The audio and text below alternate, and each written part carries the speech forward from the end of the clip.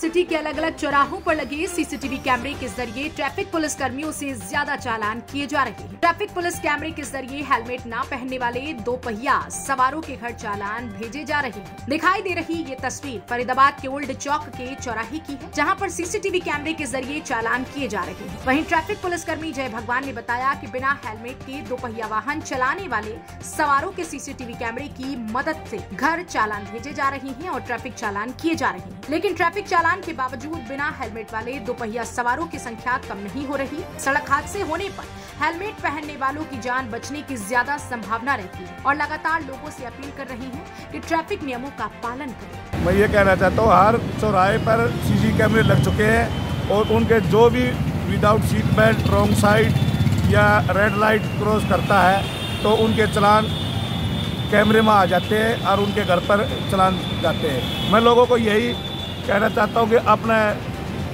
मतलब ट्रैफ़िक के कानून का मत तोड़े अपने का, कानून के हिसाब से चले। नहीं तो सभी के घर पर अपने जो भी कानून तोड़ेगा ट्रैफ़िक के उल्लंघन करेगा उसके घर पर चलाना आएगा।